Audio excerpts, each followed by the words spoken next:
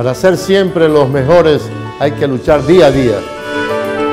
Porque los deportistas son nuestra razón de ser. Comité Olímpico Ecuatoriano.